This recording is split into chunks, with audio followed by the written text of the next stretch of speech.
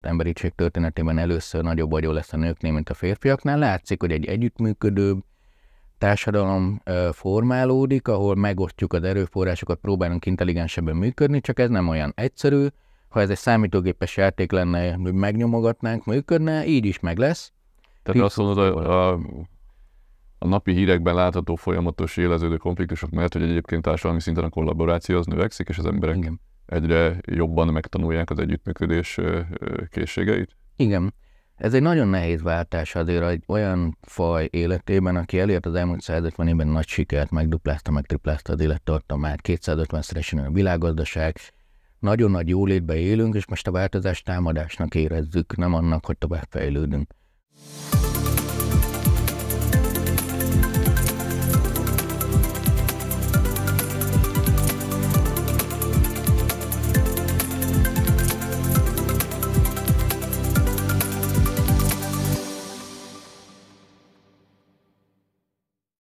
Sziasztok! Sok szeretettel köszöntök mindenkit a céges podcastunk legújabb adásában. Én Oszkó Péter vagyok, és ez itt az Oxo Coffee Break. Mai vendégem Rabár Páld, akivel így az év vége közelettével szeretném átbeszélni. Hát most a nagyon egyszerűen akarok fogalmazni a jövőt. Rabár Páld ugyanis jövőkutató, de arra jutottam így az előkészítő gondolkodásokból, hogy felteszem elsőként a legostobább kérdést, amit valószínűleg minden jövőkutatónak feltesznek, hogy mit csinál egy jövőkutató? Hogyan zajlik az, hogy reggel bemész, kutatod a jövőt, majd este hazamész, és másnap ugyanezt megismétled. Először is szeretettel köszöntek én is mindenkit, és örülök, hogy itt lehetek. Jó lenne ilyenkor valami romantikus dolgot mondani, hogy úgy kitekintek, és uh, valami misztikus dolgokat. A legtöbb uh, része azért adatgyűjtés, és ez nagyon nagy munka, hogy a hiteles adatok legyenek, és mi fontos. Amit igazán szeretek, azok a trendek észrevétele, valami olyanra rájönni, vagy a mintádatokat észrevenni, ami elsőre nem egyértelmű mm, magamról tudok beszélni, én hogy dolgozok. Alapvetően én nagyon sokat olvasok, nagyon sok iparágat követek, 14 iparágat, ilyen heti 10 könyv, több száz cikk elolvasása, nagyon sok kutatótársammal beszélek, akik egy szakterületnek kiemelkedő szakemberé, vagy jó szakemberé, és én horizontálisan szeretek mozogni, tehát van orvos, agráros, stb., és akkor belük tudok mélyre menni, és ami igazán engem mindig izgat, az az, hogy merre felé alakulhat Uh, mit, mi, mi az, amit, amire valaki nem gondol, vagy mi az, ami úgy hat erre a jelenségre, bármi is legyen az, amire nem gondolnak elsőként. Szóval én kicsit ilyen nyomozás, nagyon szeretek gondolkodni, egész nap jár az agyam van, amikor tényleg így leülök. Valószínűleg ez szakmai ártalom. Igen, igen, és ez ö, ö, elkerülhetetlen de, de a vizuál része az anya görnyedek egy számítógép fölött, mint oly sok sorstársam. Tehát nehéz ebből mondjuk egy amerikai akciófilmet csinálni. Vagy Nagyon nehéz. Biztos lehetne, mert ők képesek ilyesmire, de valószínűleg akkor mm, valamiféle olyan jövőt fedeznék föl, ahol nem tudom, valami bűnszövetkezetek valamire épp törekednek, és akkor már csak néhány kommandós kell, és szexi hölgy, aki fel alá rohangaszik. Ilyenekkel még nem találkoztam. Világos. Azért is vártam nagyon a beszélgetésünket, mert az igazság, hogy, hogy kisebb, sokkal szűkebb spektrumon, de lényegben mi is sokszor hasonlót csinálunk. Tehát a befektetési szakma se arról szól, hogy mi hirtelen véletlenül találunk nagyon jó befektetési célpontokat, hanem trendeket próbálunk előre látni, és hogyha azokat jól látjuk előre, akkor tudunk jó befektetési döntéseket hozni. De jól értem hogy a jövőkutatás magában nem arról szól, hogy valami megváltoztathatatlant előre feltérképezzünk, hanem hogy mindezt azért csináljuk, hogy utána olyan döntéseket hozzunk, ami aztán kihatással is van a jövőre. Így van. A ezért abszolút egyetértek, ti is ezt csináljátok, sőt, nekem nagyon jót tett az, hogy van egy akadémiai érdeklődésem egy ilyen társadalomtudományi, de azért az üzleti foresight, az üzleti kockázatelemzésekből nagyon sokat tanulok, sőt ilyeneket fogyasztok itt. Maga a logika az az, ugyanaz, talán a különbség az az, hogy én szeretek holisztikusabban menni, tehát egy üzletnél egy adott piacot figyelsz, bár ott is a, a környezeted. Igen, forgatókönyvek vannak, tudjuk azt, ha így Sőt, most nem félbeszakítanak, de hogy hogy a mi dolgunk sem egyszerű már, mert, mert nem egyszerűen csak azt kell nézni, hogy milyen döntéseket hoz egy-egy bank, hanem azt is kell nézni, hogy hol van háborús konfliktus, minek van hatása az energiaárakra, az hogyan gyűrűzik tovább az egész gazdaságra. Tehát most nem azt mondom, hogy egyre inkább jövőkutatónak érezzük magunkat, de hogy, hogy egyre, egyre szélesebb de, körben, de, de, egyre szélesebb de. körben egyre több információt kell feldolgozni. Csak a, amit te csinálsz, annak nyilván más a tétje, tehát nem egy-egy üzleti döntés meghozatalához végzed a kutatásokat, hanem alapvetően szélesebb folyamatokhoz. Igen, én, én igazából ha ideális esetben számotokra tudok előkészítő anyagokat egy, egy társadalmi spektrumról, de azért nem véletlen, hogy az elmúlt években nagyon-nagyon sok olyan munkám volt, amiket ti végeztek, tehát cégek kértek föl, és ezek sokkal alaposabbak voltak. Nekem, ami izgalmas, mondjuk a társadalom, ez a social innovation projektek, tehát amikor látom azt, hogy mondjuk egy kis tudatossággal, odafigyeléssel, technológia használattal sok embernek jobb lenne, és őket hogy lehet erre rávenni, nem csak üzleti eszközökkel, bár én nagyon hiszek az üzletben, uh-huh. és nagyon szeretem azt, amikor fenntarthatóvá tud lenni úgy egy projekt, hogy az üzleti modell valós mögötte, nem azt, hogy pumpálok bele pénzt, hanem az emberek tényleg akarják, csak összekapcsolódik. Szerintem ugyanúgy mozgunk lehet, hogy nekem ez a társadalmi érzékenység inkább a frontvonalban van, nem mintha nektek nem lenne meg, és szerintem ami még ilyen, ilyen különbség lehet, az a metaszín, tehát én nagyon szeretek az emberiségről általában, amit az üzletet érdekelt, de azért azon konkrétan nehéz mit kezdeni. Hát igen, de egyre jobb, ez jobb, hogyha egyre inkább érdekli, mert mondom, annyira komplexek a viszonyrendszerek, hogy nehéz azt hinni, hogy én csak egy szűk körbe hozok egy üzleti döntést, és annak aztán nincs kihatása. Szinte mindennek mindenre kihatása van. Pont eljut eszembe, mert sok mindenkinek tulajdonították azt a mondást, hogy ugye angolul tudom, hogy fordítani próbálom, hogy az előjelzések az egy nehéz, nehéz műfaj, különösen, hogyha a jövőről van szó. hogy me, mennyire érzed azt, hogy, hogy, hogy egyre nehezebb, vagy mennyire könnyebb esetleg ez a, ez a fajta műfaj, amit, amit te művelsz, mert hogy egyre több technológia áll rendelkezésre, ami, ami ugye akár segíthet adatfeldolgozásban, segíthet rendek megértésével, de közben meg egyre, egyre több mindent kell megérteni. Igen, Tény, hogy egyre komplexebb a világ, és egyre gyorsabb, mert sokan vagyunk és gazdagok lettünk, és a technológiával próbáljuk ezt az életet rendbe hozni, vagy követni. De azért több az adat, nagyon sok a tanulság, nagyon sokan foglalkoznak, ez például az üzlet is ráfordul, de a tudományban is. És a leglényegesebb, hogy itt nem arról van szó, hogy, hogy csak egy forgatókönyv van, tehát nem az van, hogy azt mondom, na ezen túl, nem tudom, csak a 3D nyomtatók terjednek elő, és az autók eltűnnek, hanem vannak autók is 3D nyomtatók is, hanem azt tudom megnézni, mint egy ilyen amőba, egy kicsúcsosodik valami. Tehát nem azt mondom, hogy hibázni nem lehet, de azt, hogy a trendet érzékeled, onnantól mondjuk az üzletnek azt, hogy nekem ez az amőbaláb az érdekes, a másik cégnek meg ez az amőbaláb érdekes.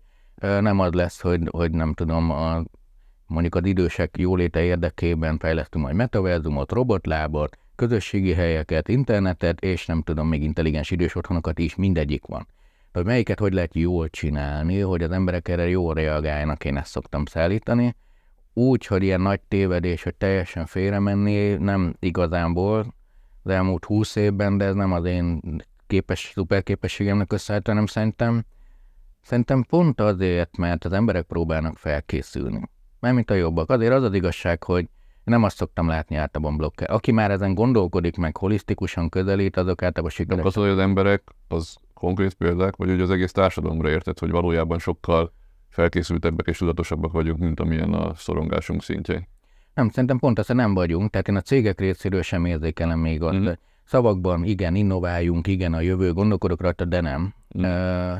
kevesen, és ők sikeresek is, és ők meg is valósítják azokat a forgatókönyveket társadalmi oldalról pedig ilyen, ilyen hazugságokban, hazugságokat szeretünk ismételni, hogy a felelősséget ledobjuk magunkról, hogy a jövőt meg nem lehet megjósolni, de 5-10-15 évre előre látjuk. Lehet, hogy valamiről nem akarunk tudomást menni. Lehet, hogy nem tudunk valamit, ami hat ránk, de, de akkor utána lehet olvasni. Nem azt várom, hogy mindenki jövőkutató legyen, csak azért ezek a tágra nyílt szemű rácsodálkozások, hogy hát nem gondoltam volna, hogy, hogy tényleg egyre drágább lesz a benzin. Hát amikor egy foszilis energia, ami fogy, meg amúgy is, tehát drágább, csak egy példa, de millió más lehetne. Tehát szerintem sokkal több mindent tagadunk le. Én nagyon sokszor azt érzem, hogy nem is a konkrét irány megmondása, hanem inkább egy ilyen szemléletformálás, felszabadítás, tudatosság növelése feladat. Uh-huh.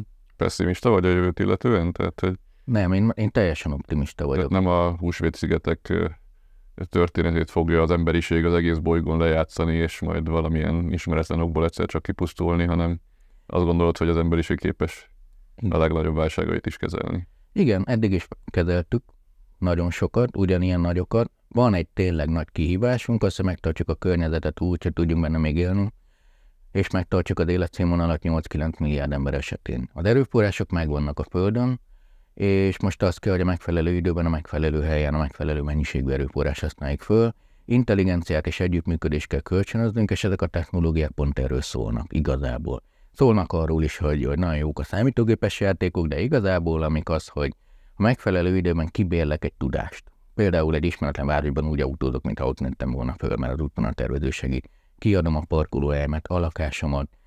Végtelen sokáig mondható, mert emögött más, trend, más trendek is, például az, hogy az emberiség történetében először nagyobb vagyó lesz a nőknél, mint a férfiaknál. Látszik, hogy egy együttműködőbb, társadalom formálódik, ahol megosztjuk az erőforrásokat, próbálunk intelligensebben működni, csak ez nem olyan egyszerű.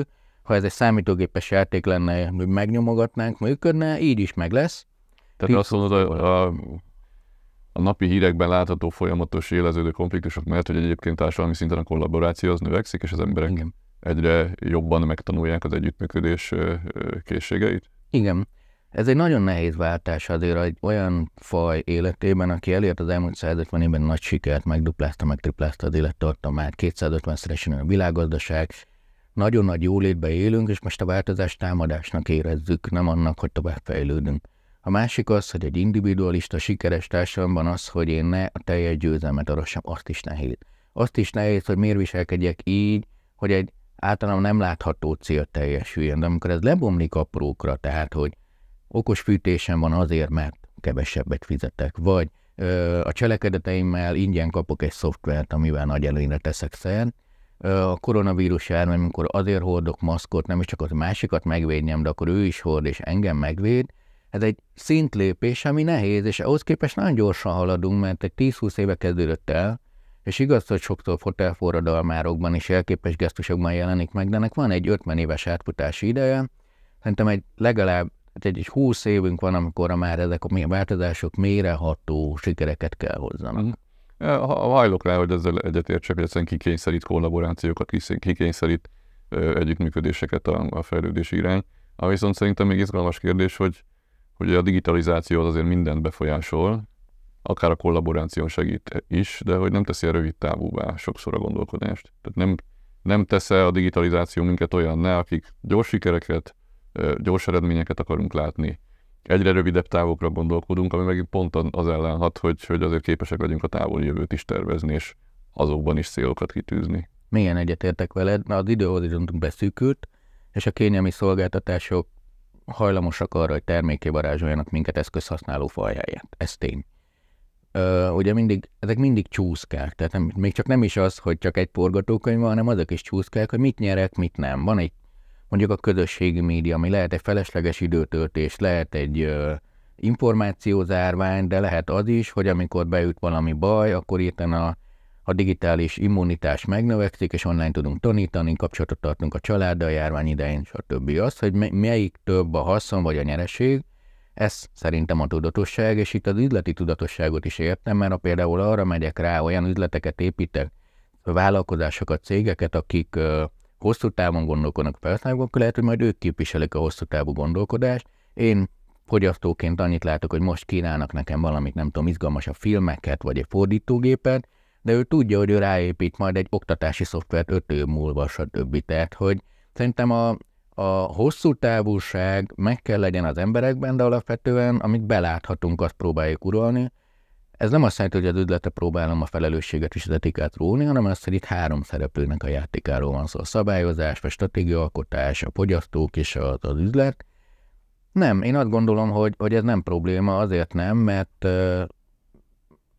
mert amik igazán jól működnek, azok hosszú távon is fenntarthatóak is működnek, és lehet, hogy változik a profiljuk, akár egy cégnek, akár egy szolgáltatásnak kicsit eltolódik, de az, az, az, az működik. Hmm. 23 az ugye a mesterséges intelligencia éve volt. Igen. Üzleti szempontból is, hát ez látszik részvényárfolyam felfutásokon, meg, meg a, a tőke különböző allokációján, de a közbeszédben is igazából a mesterséges intelligenciáról volt szó. Mennyire látod, hogy ez egy valós fordulópont, vagy mennyire ez csak egy folyamat kezdete? Ugye, hogyha most más kisebb, de hasonló folyamatokat nézek, akkor mondjuk a, a zenehallgatási szokásokat, azokat nem a Napster változtatta meg tömegesen, az csak valamit bedobott, és aztán mondjuk a Spotify időszakába vált tömegessé már az online streaming. Vagy nem tudom én, a, a mobiltelefonok világát sem a Nokia vitte dicsőségre, hanem a végén az Apple meg a Samsung aratta le a babérokat. Tehát, hogy most melyik pillanatban az Apple Samsung pillanatban, vagy a Spotify pillanatban vagyunk, vagy még a Napster és Nokia pillanatban, amikor egy áttörés van, de még egy csomó kudarc következik, egy csomó csalódás, és majd azt a végén a tanulságokat valaki levonja, és, és ügyesen hasznosítja. Szerintem most a Götner hype ciklusnak, ugye az elején most van azt, hogy mindenki azt hiszi, minden megváltoztat és csodálatos, bár ugye ez még, ez még mindig csak a generatív emikre és a chatbotokra igaz, amit most a társam érzékel, hanem a következő fél év nagyon sok erről milyen buta nem is jó, ugye most fejlesztik, és amiben jó, azt már meg is mutatta, tehát általános szövegek generálás. De ezt, de ezt pontosan érti szerinted a közvélemény? Nem arról van szó, hogy azért, mert valaki értelmes mondatokat mond, vagy produkál, ezért már intelligenciát, meg tudatosságot, meg érzelmeket, meg mindent feltételezünk róla? Ez, ez most így látszik nekik, amikor egyre pontosabb szolgáltatást válnak el, akkor látszani fognak a hátrányok, tehát azt fog látszani, hogy valaki jó dumás, de végül is nem dolgozik, és akkor lesz egy kis kiábrándás, utána elkezd a helyére kerülni, és ad lesz az Apple Samsung korszak, azt szerintem egy körülbelül egy-két éven belül van. Tehát látom, én magam is egy 10-20 emmi fejlesztésben vagyok, hogy azért meg még mennyi idő, hogy valóban jól működjön, minimum egy-két év, és most uh, mások biztos gyorsabban csinálják. A, az emberek részéről ez, a, ez az élmény, ez, ez valóban brutális. Főleg azért is brutális, mert most egy változás küszöbén vagyunk, ahol, ahol egy tükröt tart elénk, mit tartunk munkának, mit tartunk szabadidőnek, mi a lojalitás, mi a pénz, mi az érték, milyen rendszerek szerint mozogjak, és ebből a mesterséges intelligencia nagyon beletronfolt, én szerintem nagyon szétválik az, hogy a, a nem generatív emik a háttérben ahogy dolgoznak, ahogy a generatív emik is felbújnak. A társadalom hamarosan nem fogja ennyire érzékelni az emit, hanem azt érzékel, hogy minden szolgáltatása kicsit okosabb lett. A, elkezdtek beszélni az adatok. Szuper, egy jó élmény, és megvannak a bizonyos felhasználói csoportok és helyzetek, bizonyos üzleti modelleket nagyon föl is rúg. Ez tény. Tehát ez másokkal is így volt, és ezek is a helyükre került. már, igen, igen. Én azt gondolom, hogy az EMI nagy próbája az lesz, hogy azok, akik fejlesztik, megértik a valódi társadalmi mélységeit, megértik-e azt, hogy az adathitelesség, a kimenetnek az értelmezése, hogy e, milyen problémákat old meg valójában, ez, ez, lesz, ez teszi majd izgalmassá, csak akkor szerintem már nem úgy fogunk beszélni róla, hogy, hogy tehát azt fogjuk mondani, hogy milyen okos irányítási rendszer van, vagy most egy sokkal nagyobb bizalmat keltő otthoni egészségügyi segítő környezetet hoztam létre, de már nem eminek hívjuk, hanem persze, hogy van mögött. Tehát most PCTCP, IP szabván is mindenhol van már, most is nem beszélünk róla. Mm. Mennyire érzed veszélynek, hogy, hogy ez a Big Tech játéktere lesz? Tehát, hogy akkor a számítási kapacitás, akkor a tőkeigény, akkor a, akkor a tudásbázis kell hozzá, hogy ezt, ezt, ezt a változást ezt néhány nagy cég fogja lényegében monopoli, monopolizálni saját magának, és a technológiai világnak az a, egyébként már megkopott nimbusszal, hogy itt néhány ügyes fiatal fejlesztő be tud lépni és kitalálni új dolgokat és megváltoztatni a világot, az pont emiatt sokkal kevésbé lesz már igaz. Szerintem pont, hogy jobban igaz lesz. Nyilván az elején az van, hogy mondjuk a nagynyelvi modellek és a processzorszám meghatározza, de most nem emit kell fejleszteni, Magyarországon is több nyelvi modellt fejlesztenek, amik hamarosan publikusan kikerülnek a demokrácia egyre, a technológia egyre olcsóbbá válik, demokratizálódik, hamarosan igenis lehetséges a saját gépemen lévő adatoknál is saját gépemről futó nyelvi modellel alkalmazok valamit, mint ahogy az elején is egy webshopot felépíteni programozói tudás kellett, ma meg már néhány klik. Most is meg tudom csinálni online szolgáltatással saját ChatGPT felületet bérlek, amivel beszélgetve saját szolgáltatást fejlesztek, és mások megvásárolhatják, mint egy telefonos alkalmazást csak természetesen most még az a kockázat benne van, hogy igazából egy megacéget is fejlesztek ezzel párhuzamosan, de néha ez sem gond egy bizonyos fejlesztés fázisokban. Arra nagyon jó lehetőség ad, ad például, hogy egy, azok, akiknek tényleg ötleteik vannak és probléma megoldásra fókuszálnak, az eddigi összetett csoport mellé, startup mellé, ahol változatos emberek és szakemberek kellettek, most lesz néhány olyanjuk, aki lehet, hogy nem is ember, de segít arra jó, hogy új szerepkört vegyünk fel, mondjuk orvos vagyok itt, és most az egész világon lehetek, hogy nagyon speciális tudásom van. Tehát én szerintem nagyon nagy lehetőségeket ad inkább. Az elején megvan az a kockázat, hogy rajtunk mások is nagyon keresnek, de ez később is valószínűleg meg lesz, ennek a mértéke változhat. Uh-huh. Picit foglalkozunk a társadalmi hatásokkal, mert ugye mindez azt jelenti, hogy egyre, egyre radikálisabb és egyre gyorsabb az alkalmazkodási kényszer, amit a teljes emberiségnek folyamatosan véghez kell vinnie. És azért ennek a túlfeszített alkalmaskodási kényszernek mindig voltak robbanáspontjai. Ezt mennyire látod veszélynek? Tehát eleve már a gazdasági, a globalizáció, a gazdasági fejlődés pálya is azt, azt, azt eredményezte, hogy bizonyos társadalmi feszültségek nőttek, vagy különbségek nőttek a nyugati társadalmakban. Azért a demokrácia és a politika bizonyos válságtünetei mutatkoznak. Mennyire fogja ezt megterhelni egy ilyesfajta felgyorsuló technológiai váltás, aminek megint a jól felkészült, gyorsan alkalmazkodó, jó adottságú rétegek a nyertesei lehetnek, de hát nem biztos, hogy mindenki az lesz. Nem biztos, hogy mindenki az lesz. Ugye a igazán izgalmas fogalmaknak nincs jó definíciója, de az intelligenciának kb. ez, hogy az alkalmazkodó képesség. Mm. Ö, nyilván a világ különböző pontjai nagyon máshogy állnak ehhez. Tehát mondjuk az UNESCO-val fejlődő országban dolgozunk, vagy mondjuk egy arab világban, vagy egy, de mondjuk a fejlett nyugati demokráciákat nézve, az elterjedt a technológia, vagy fejlett nyugati kultúrákat nézve, leegyszerűsítve, én azt gondolom, hogy azok a hatások, amikkel meg kell küzdenünk, jóval nagyobbak, mint azok a hátrányok, amik a technológiából és a felgyorsult fejlődésből fakadnak. Azért, mert most már a, a technológia elterjedés jóval gyorsabban ná, hogy én nekem követni kéne, vagy tudnám követni átlag emberként. Tehát most nem kell minden technológiát már rég megtanulnom, hanem majd, hogyha csak használni kell. Besét, igen, te besétek, és mind tényleg mindegyik önvezető autó, nem tudom mikor erről majd a, a jövőkutatók el tudnak beszélgetni, hogy van-e értelme egyáltalán jövőkutatónak, vagy önvezető autónak, vagy melyik célcsoportnak, de akkor majd használom, de akkor is van nekünk egy, egy, egy, egy, egy értékválságunk a munkaterén, hogy a technológiai széttolja, tehát akik középszerűen dolgoztak, ők kevesebbet fognak keresni, akik viszont jó kevesebb munkával, vagy ugyanannyi munkával, akkor többet fognak keresni. Tehát, hogy ezek, a, amit munkaerőpiaci kihívásnak én, vagy a klímaválság, vagy mondjuk az, hogy a élhető környezet, vagy mondjuk az élhető idős lét a fejlett társadalmakban, ahol Magyarországon ugye a társadalom 25%-a 65 év feletti hamarosan. Én például egy önvezető autót itt látok kiugró technológiának, nekem nem az kell társadalomtudósként, hogy valaki, aki nagyon jól vezet, önvezető autóval menjen, hanem ez a 25% idős, a hétvégén ott van a faluban három autó, odalép egy appal, elmegy a nagyáruházba és hazaviszi az autó, de hogyha így fogalmazom meg, akkor nekem egy 20 km per órával menő 20 kilométeres körzetben levő jól leprogramot kell. Szóval én azt gondolom, hogy ez a...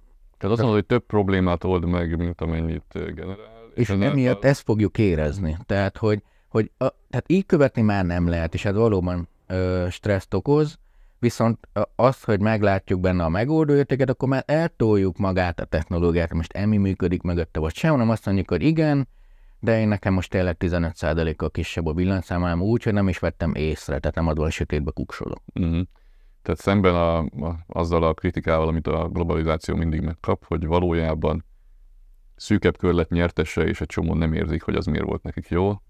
A technológiai szingularitás az hozhat egy olyan eredményt, hogy igazából mindenkinek jobb lesz, lehet, hogy néhányoknak gyorsabban kell alkalmazkodni, de sokkal Ugye ez a gazdaság, gazdaságpolitikában szoktuk ezt a fogalmat használni, hogy inkluzív legyen egy mm. fejlődés, tehát hogy mindenkinek, mindenki valamilyen mértékben nyertese legyen, te azt látod, hogy ez a fajta technológiai forradalom, ez inkluzív tud lenni. Igen, nyilván vannak, akik gyorsítósában mennek, meg van egy kulturális tőke, meg van egy anyagi tőke is.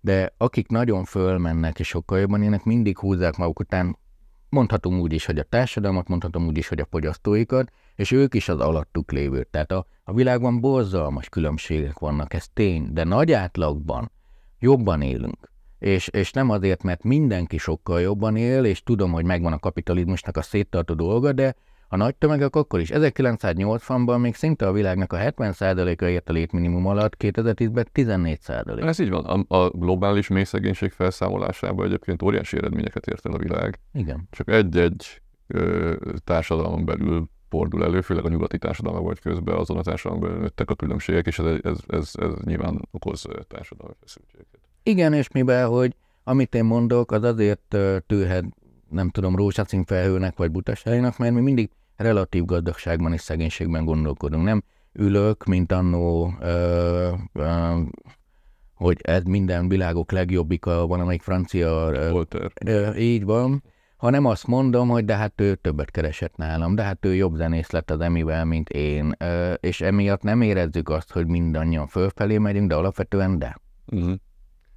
Arról, amit, amit sokan pedzegetnek, hogy az lesz a legnagyobb feszültség, konfliktus a társadalom nem is a mesterséges intelligencia okozza, hanem igazából az anyagi viszonyok. Mi szerint az égeneráció már nem fog magasabb életszínvonalon élni, mint az őt megelőző generációk, már pedig az emberiség jó közérzetét alapvetően mindig azt biztosította, hogy a gyerekek egy picit mindig jobban éltek, mint a szüleik.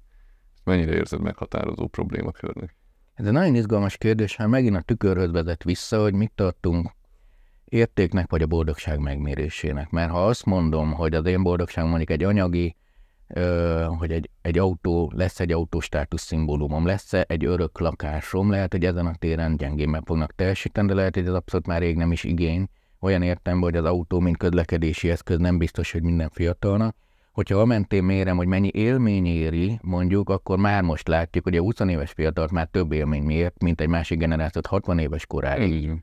Ö, az, hogy a, a magántulajdonnak mekkora szerepe van, itt, itt én kockázatokat, vagy problémát, nehézséget, fiatalokat azt látom, hogy ők sokkal bizonytalanabb, gyorsabb, kaotikusabb világra kell felkészüljenek, és ez nem ad nekik egy ilyen biztos jövő. Én, ha jól teljesítek, biztos, hogy rendben leszek érzést, ami egy egyel korábbi generációnak megvolt, viszont a, az a hihetetlen skálája a lehetőségeknek, Uh-huh. És a ez, ez teljesen értem, és saját gyerekeimmel látom, akikkel úgy beszélgettünk, hogy kocsi, minek kocsi, hát mindenhol kényelmesebben jut el, mint ha autóval.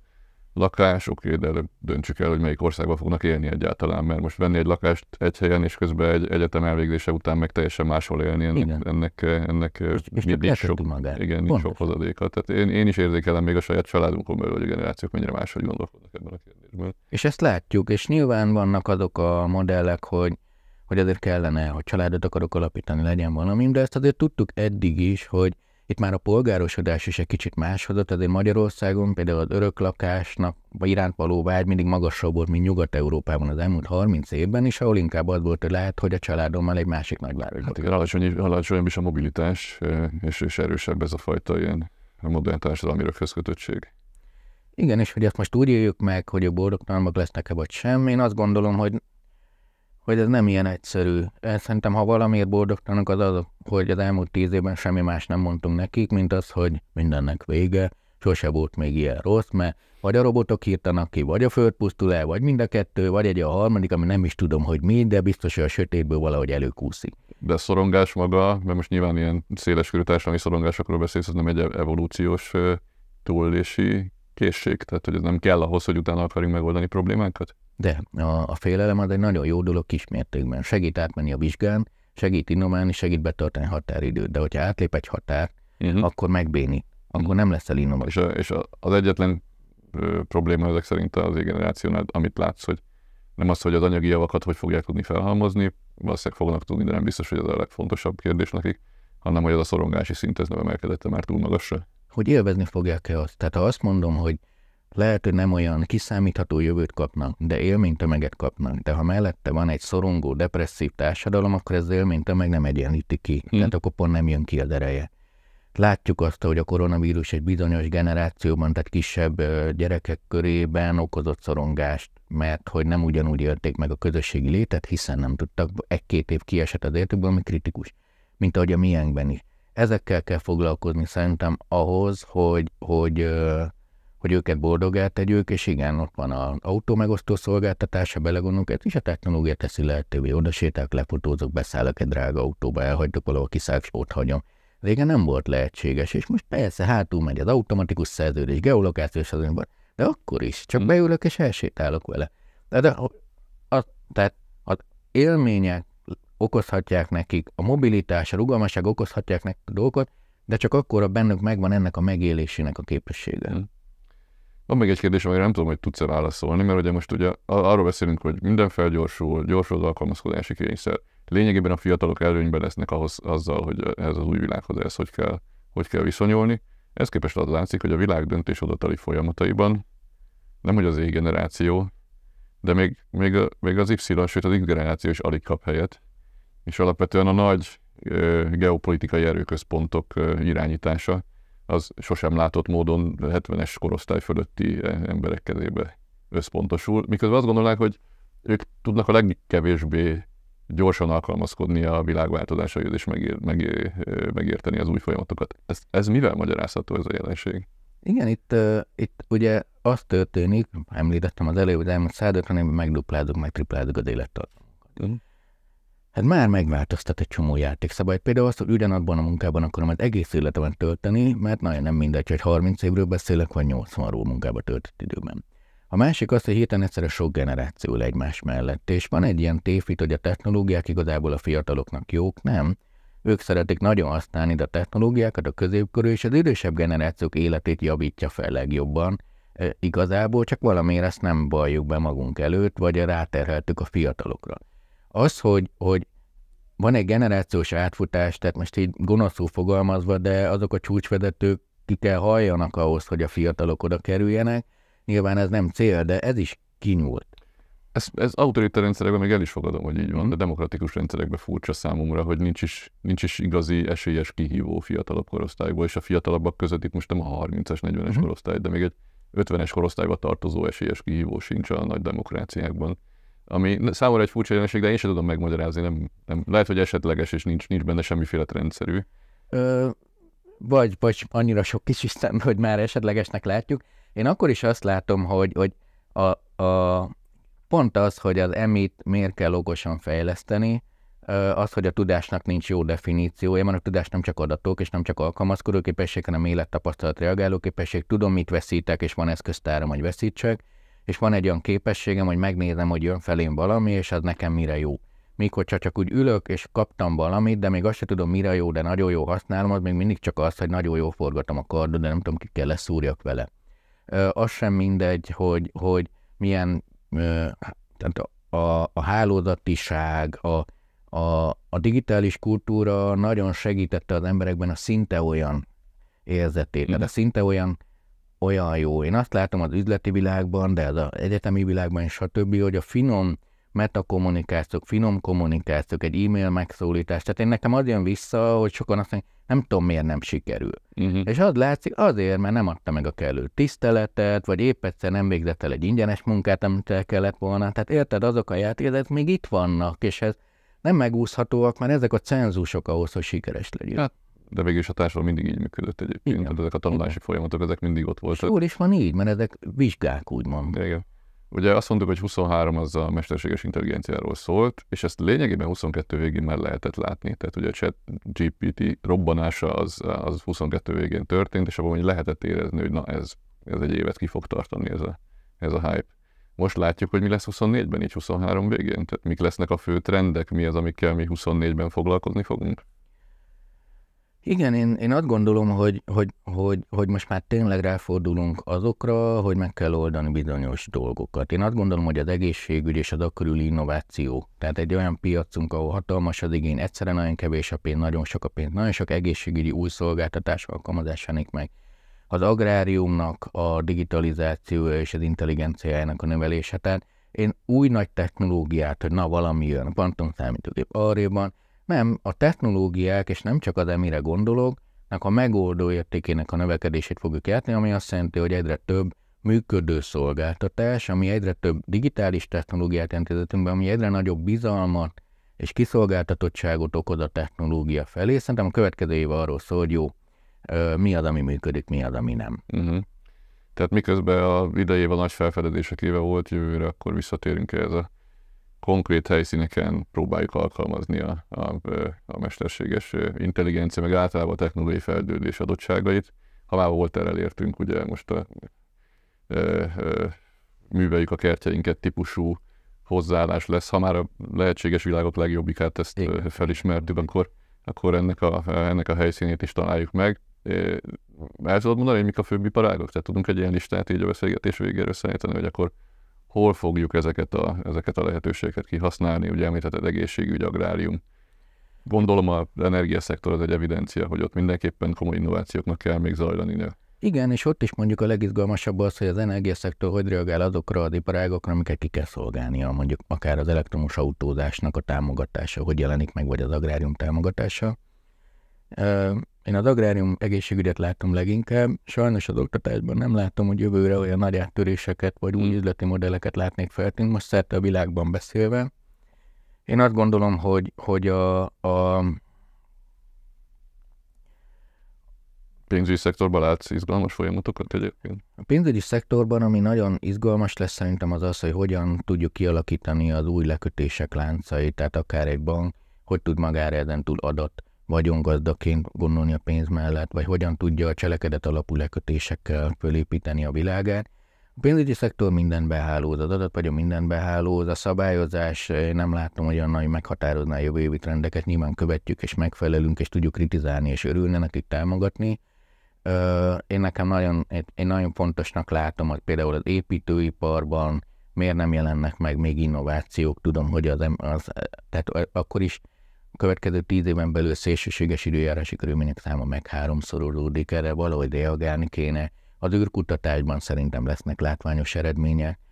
Én szerintem a, a, az okos város fejlesztéseknek a közösségi együttműködéseiben valódi ilyen most még csak az útvonal tervezőben működünk együtt, mert én eladom az adataimat, és mindenki más eladja, és emiatt jobban közlekedek, de én ilyet szeretnék többet a világban. Mm, hát ez egy elég hosszú étlap, amit most felsoroltál, hogy lesz miből válogatni 2024-ben. Mm.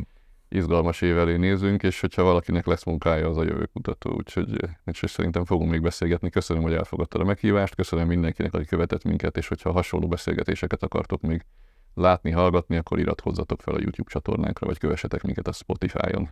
Sziasztok!